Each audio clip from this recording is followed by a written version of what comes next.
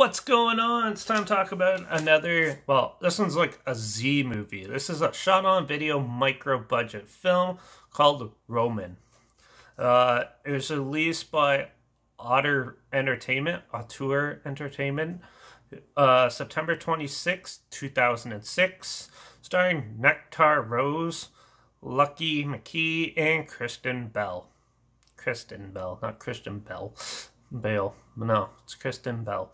Uh, it's produced by Jonathan Serati and uh, Sarah Copeland.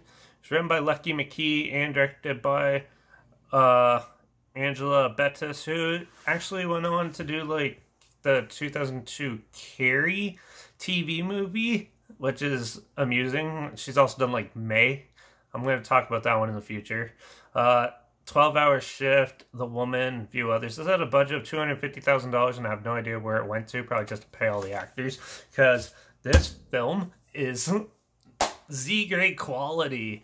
Um, so it's this weird love triangle story. So Roman is a weird guy. He's like one of those guys who uh, is quiet, nerdy, and doesn't isn't really very social and stuff like that he's uh, quite introverted and basically so he works at a factory and he's very shy and quiet. They have like these weird awkward conversations on their lunch breaks and stuff with the coworkers. And when he goes home, he just basically sits at home and stares out the window. He doesn't have a TV or anything. He just drinks a couple beers and stuff.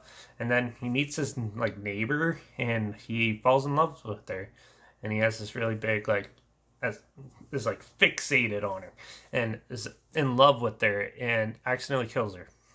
And so he has his dead um, corpse in the bathroom, and then there's this other weird chick that sort of catches his eye, and he uh, goes and she wants him, but he's not really sure, and tries to hide it. And lo and behold, spoiler alert, he's going insane.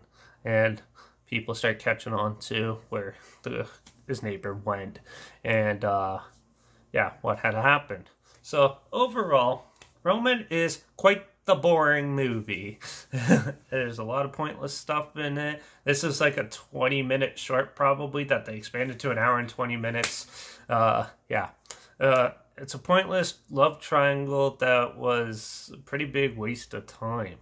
Um, like the first half was pretty well put together. And like for the sec first like after like he kills the first girl the girl you know, um he doesn't know what to do with this so she's in her body and then he has like cuts her hand off and buries half of her and keeps that as a trophy and uh kisses it and stuff. And uh yeah it's very odd and weird but i think this film was trying to explore more of like human emotions and when they fixate on something and they can't let something go, they have to have some of it, and I think it's sort of like has to do with that. Uh, now the the effects and stuff for like the corpse looking in was pretty interesting, well done. I thought. Anyways, that's like one pro. The acting is hit and miss, very cheesy, uh, very low budget. It's all like pretty much in like three locations, and uh, yeah, but and like the third, the second girl that comes in, she's like almost like fairy esque, and sort of like a figment of his imagination and stuff like that, which is really odd. Uh, but it's a way of coping with loss and how he's how he's dealing with what he has done and stuff. Which is it's an okay movie that way, but it's just so boring and slow. Like, oh, it felt like two and a half hours instead of an hour and 20 minutes.